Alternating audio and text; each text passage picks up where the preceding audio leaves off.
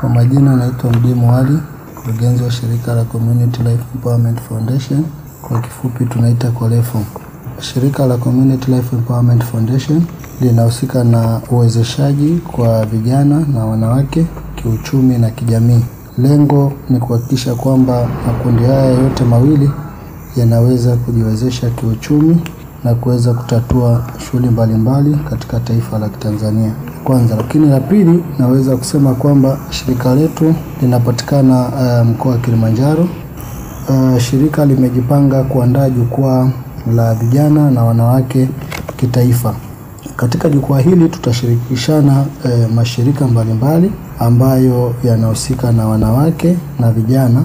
Lengo ni kwenda kujadiliana mambo mbalimbali ambayo yanamhusu kijana na maendeleo, wanawake na maendeleo, kwamba ni namna gani sasa kijana anaweza akajikwamua uh, kiuchumi na kuweza kupiga step moja eh, kwenda sehemu nyingine. Lakini vile vile tunakwenda jukwaa hilo kuhakikisha kwamba tunaandaa midahalo mbalimbali ambayo pia katika midahalo hii itakuwa inahusika sana na kujadiliana mambo mbalimbali eh, ambayo yanamhusu kijana na wanawake, lakini hasa hasa tutakuwa tunajikita katika mdahalo huu eh, kwenda kuzungumza na taasisi hasa hasa taasisi za kifedha ambazo tutakuwa tunakaa nao pamoja ili kuangalia kwamba kijana yule hasa ambaye anatoka E, katika vyuo mbalimbali hapa e, Tanzania kwamba atashiriki vipi kukuzitumia hizi taasisi za kifedha ili kuweza kujikwamua kiuchumi, na tumeshaanza kufanya mazungumzo ya awali na taasisi kama NMB, e, CRDB na Exim Bank. Lakini mbali na hapo e, kuna mikopo ambayo inatolewa na serikali ambayo asilimia nne hizi zinakwenda kwa vijana asilimia nne zinakwenda kwa wanawake. Hivyo eh, kuna makundi mbalimbali yamekuwa yakiingiwa na uoga haswa kwa upande wa wanawake kushindwa eh, kwenda kuchukua hii mikopo ili hali imetengwa kwa ajili yao. Sasa katika midahalo hii tutakuwa tunatoa elimu mbalimbali mbali ambazo zitamgusa huyu kijana, zitamgusa huyu mwanamke E, kujua ni taratibu gani ambazo watazitumia ili kuweza kwenda kupata mikopo hiyo. Lakini vile vile shirika letu la Community Life Empowerment Foundation kuna maeneo ambayo uh, tumeweza kuyaona na yamekuwa ni changamoto haswa kupitia yale maazimisho ya siku ya wanawake duniani ambayo yalifanyika tarehe nane mwezi wa tatu ambayo sisi tulishirikiana eh, perpendicular na uh, uh, ofisi ya manispaa katika kuhakikisha tunafanya maazimisho hayo.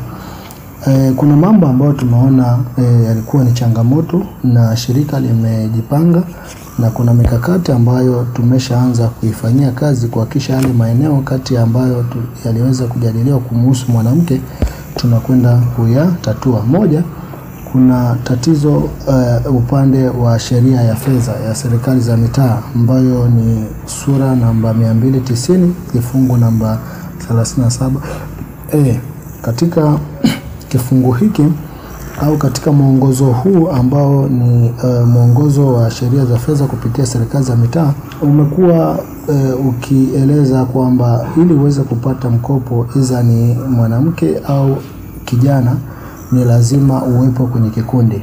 E, sisi kama shirika tunajaribu kushirikiana na mashirika baadhi, tuandike waraka ambao utakwenda kwenye serikali, ikiwezekana uende kufika bungeni kuhakikisha kwamba pengine kifungu hichi kiweze kwenda kufanyiwa marekebisho ili kiweze kumgusa, maana imekuonekana kwamba kuna shida ya wanawake kuwa na hofu ya kuingia katika kundi ili waweze kuchukua mkopo wakiamini kwamba mkopo huo unaweza usirudi na wakashindwa kurejesha.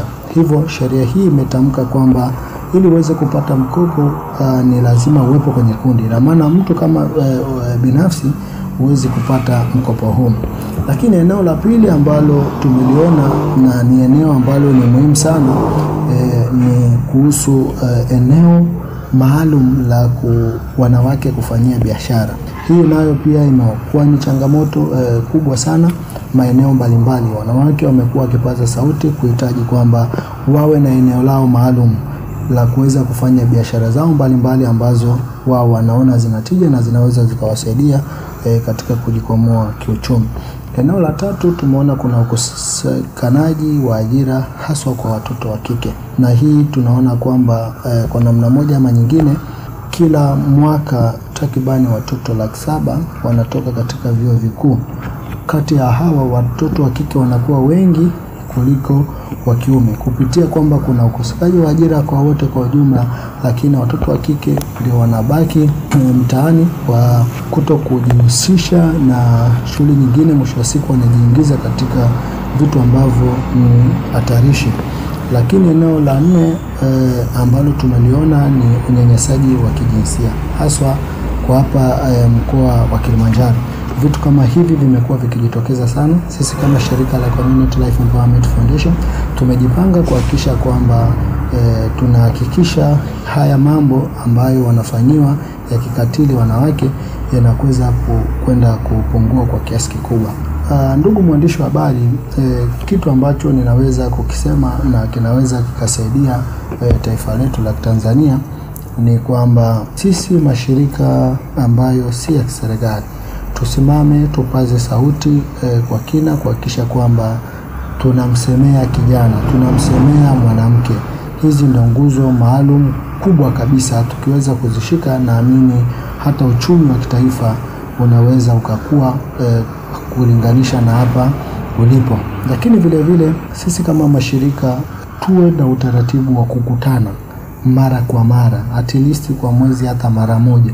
Ikibidi kabisa, tunaweza tukaweka utaratibu wa kukutana labda baada ya wiki mbili, lakini tukishindwa kabisa kwamba tuwe tunakutana, lengo liwe ni kuweka mikakati madhubuti ya kuhakikisha kwamba e, tunakwenda kumsemea huyu mwanamke kwenda kujadili mambo mbalimbali ambayo yanaweza yakamsaidia mwanamke kujikwamua kiuchumi, kwa kuwa kwamba kuna mashirika mengi yanakuwa yakitoa elimu e, katika maeneo mbalimbali ambayo e, yanamfanya mwanamke aweze kwenda kujikwamua kiuchumi. Kwa umoja wetu tuwe na utaratibu wa kukutana, tupaze sauti, tuwe na mijadala mbalimbali ili kuweza kujadiliana na kuhakikisha kwamba E, tunaweza kuwasaidia makundi haya mawili, na tukiweza kufanya hivyo, naamini kabisa tutakuwa tumewasaidia vijana, lakini vile vile tutakuwa tumelisaidia taifa la Kitanzania.